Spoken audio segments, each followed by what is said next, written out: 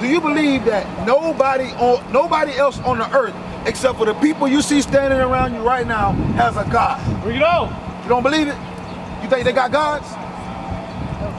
You think they, they got they got a God? We're gonna find out if they got a God or not. Bring it on. Find out what this Bible says. But we're gonna show you first that the Most High God, creator of heaven and earth, He's the God of only the Israelites.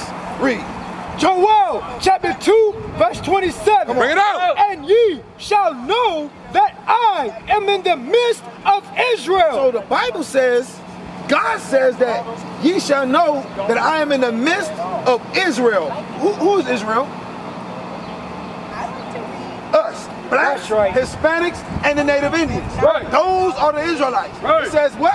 and ye shall know that I am in the midst of Israel. blacks, Hispanics, and native Indians. Come on. And that I And that the Lord God of the maker of heaven and earth And the Lord your is God. what? The Lord your God. He's the Lord your God. Come on. And none else. And what? And none else. So he's not the God of the so-called white man, And none else. Chinese man, And none else. Moab. And none else. Nobody else has a God. Right. You know, nobody else has a God, brother. The one true and living God is your God, That's right. not nobody else.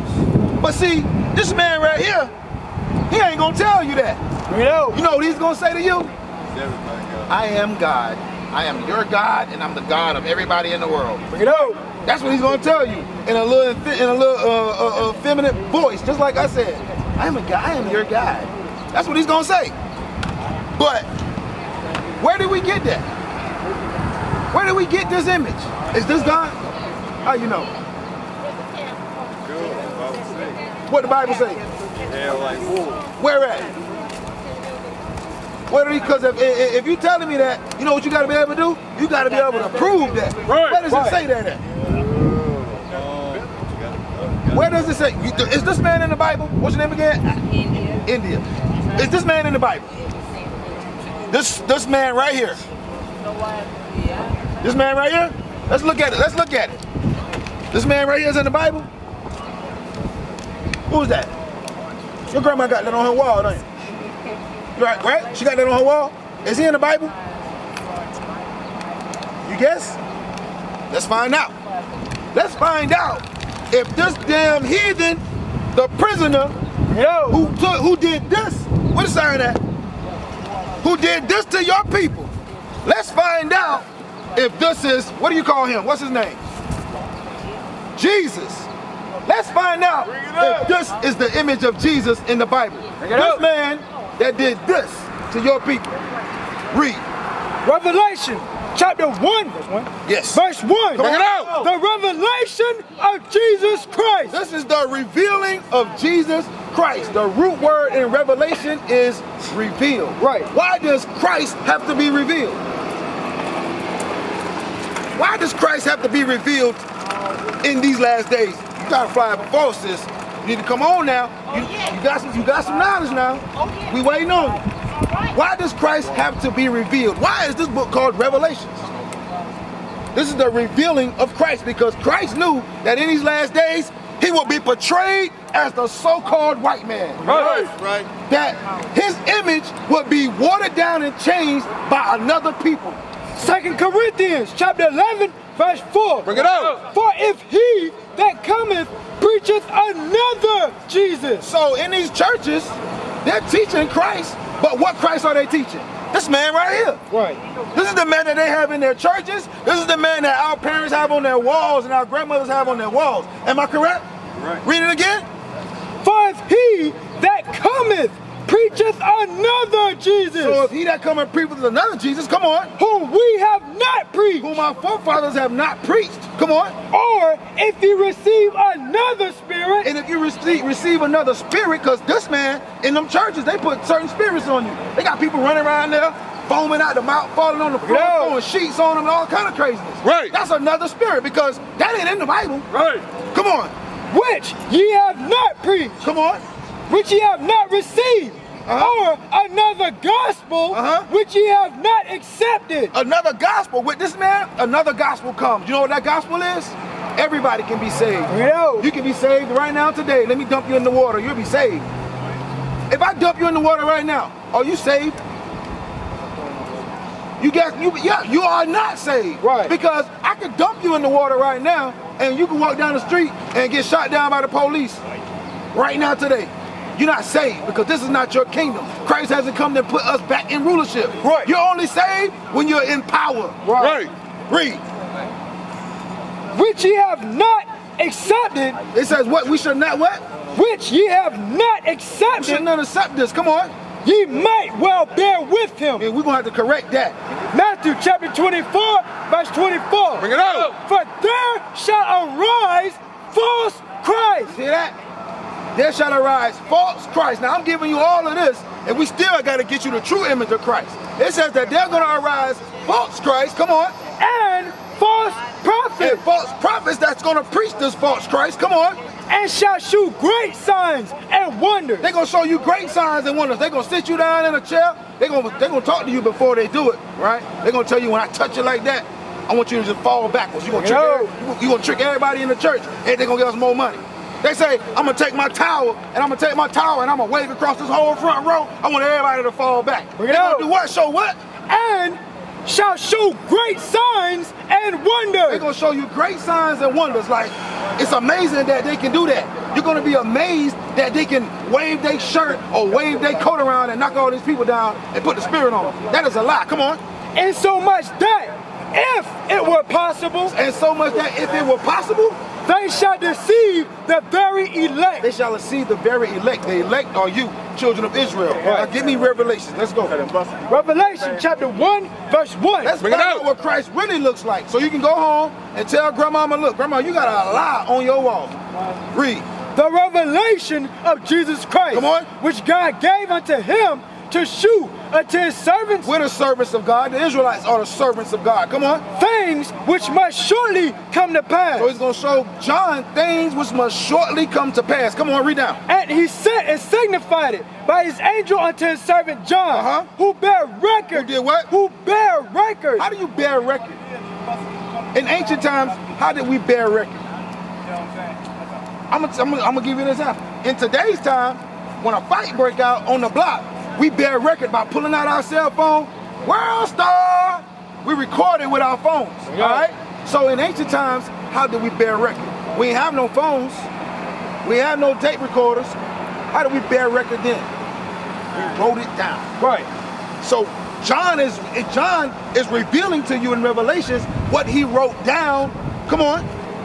And bear record Uh-huh. of the word of God. And of the testimony of Jesus Christ. The testimony of who? of Jesus Christ. Read on. And of all things Uh-huh. that he saw. So all things that he saw with his two eyes is what he's about to show you. Jump down to verse 14. Verse 14. His head and his hairs were white like wool. Process of elimination. Read it again. His head and his hairs were white like wool. Does this man have white, woolly hair? Who on the earth has woolly hair? Get out. That brother right there got wool on his hair right now. Right, You got brothers out here that got wool on their hair right now. right. Read it again. His head and his hair. the hair on his head and the hairs on his face. So it's talking about uh, a color and a texture. All right, his hair will be white in color, woolly in texture. Come on. And his hairs were white like wool. Come on. As white as snow. Come on. And his eyes His eyes, talking about his eyes now. Let's look at his eyes. Come on.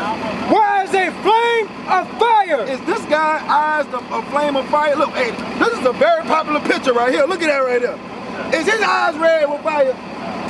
No, they blue. He's the damn devil the Bible speaks of. Come on. right. And his feet and his feet. Now I'm looking at your feet, sister. Now you got some brown feet. You got some brown skin. You got that skin like Christ. Right. Come on. and his feet Uh-huh. like unto fine brass. What color is brass? Brass is brown. But not only brown, it was it was what? And his feet like unto fine brass. It was like unto fine brass. Come on. as if they burned in a furnace. So that brass, the, the, the- his feet that looked like brass was so brass, so brown, it looked like though it was burned in a furnace. So if you take brass and you burn it in a furnace in a fire, what color does it turn? Black. Right. You can burn anything, guess what it's gonna turn? Black. So, who the hell is this? Bring it out. Who in the hell is this? I know, bro. It's a long Where did you get this? I don't wanna get- How did this get into our minds? It came into our minds during slavery. Give me Mac, First Maccabees 343, I think. 48. Because this is what has happened. They've taken this Bible, they've taken this book, and they flipped it upside down. Right. All right? They made it fit the whole world and put themselves in a superior position. Right. They never told us that we're the Israelites. You know why? Because they know that their destruction is recorded right here. They've taken our history book and they painted all of the images white. Right. That's why we think that that's Christ. You got kids?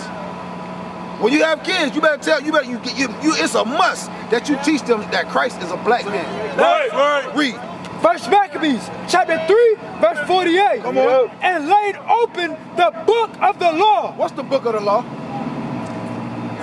Huh? The Bible is the book of the law. Right. So it says that they laid open the book of the law. Come on. Wherein the heathen, Wherein who? the heathen, Who are the heathens?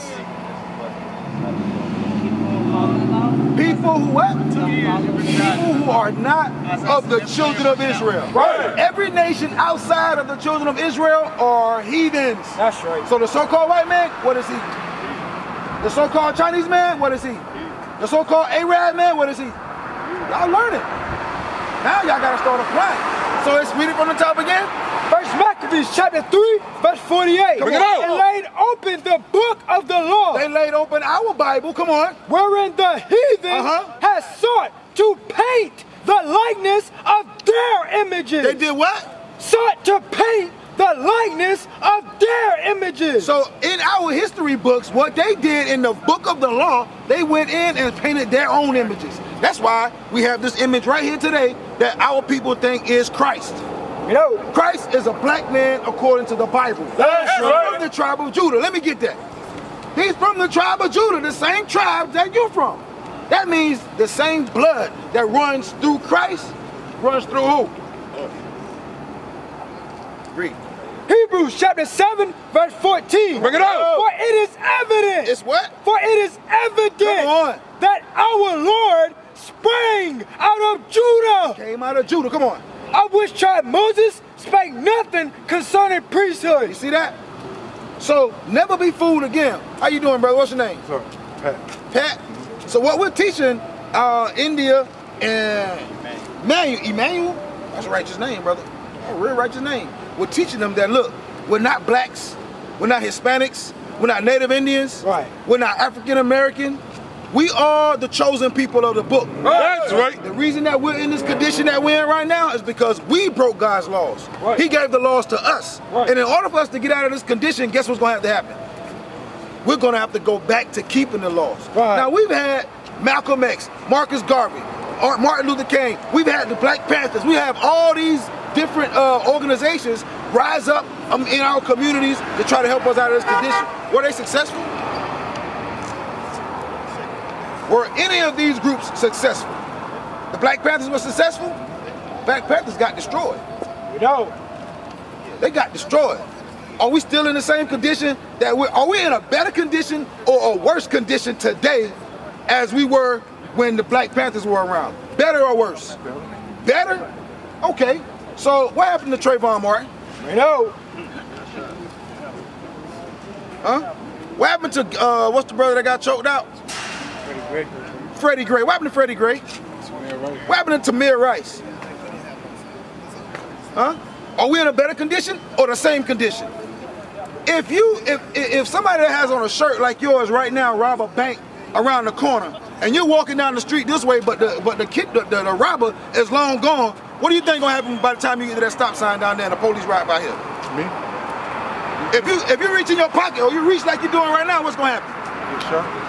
Are you are you in a better condition or or, or, or, the same condition or worse? We're in a worse condition right now because our children are on the heads of every corner being niggas. Right. We're, we're worse off now than then. Right. Remember, at one point we had we had Black Wall Street. We had our own communities where we where, where the dollar stayed in our community for longer than it does now. But we're sitting out here waiting on the bus, right? Are we getting on our bus or we getting on their bus?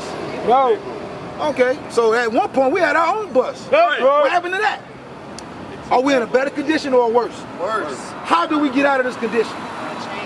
Give me Psalms chapter 19 and verse 7. Bring it up. How do we get out of this condition? Because we can lay down in the street, hold our hands up, we can march. None of that is gonna get us out of this condition. The brother read it when he read it in Deuteronomy, and no man shall redeem you. Nobody is gonna redeem us. Then I want Luke uh, 168. Read that, Psalms. Psalm chapter 19, verse 7. Come on. Bring it out. The law of the Lord is perfect. God gave the Israelites, black Hispanics, and Native Indians a perfect law. Thou shalt not kill, thou shalt not steal. What's wrong with that? Something wrong with that? Well, guess what? If you put that them headphones down right now on that corner over there and go in the restroom, they won't be there when you get back. I guarantee you that. They'll be gone. Oh, I know. Read. The law of the Lord is perfect. The laws of, law of God are perfect, converting the soul. changing the soul. Come on. The testimony of the Lord is sure, Read. making wise the simple. So until we come back to these laws, nothing is going to change. We're going to stay in this condition, right? Because the brother brought out that, yeah, Marcus Garvey did what he did. He might have made it some type of impact from one way or another. Martin Luther King did what he did. Now we can teach on the street. You know what I'm saying? Malcolm X showed a great display of unity with brothers, but guess what? We're in the same damn condition. That's right. There's only one Savior. Malcolm X was not Christ. Martin Luther King was not Christ. Right. The only person that's going to get us out of this condition is Christ. That's right. And until we believe that, act on that, and apply the laws that have been given to us, we're going to be right here. We used to scream black power while heroin was pushed. But at the end of the day, nothing's in vain. IUIC has been given a vision. The tents of Judah has risen. Many has attempted the mission, minor murmuring, omitting, and missing the mark. Just reading that he had the flame of fire in his eyes gave us the spark. We on Paul's mission. We out on the road, purple and gold. From Mexico, Cuba, Haiti, Ghana, Sierra Leone. 144,000 boots banging, concrete crackling.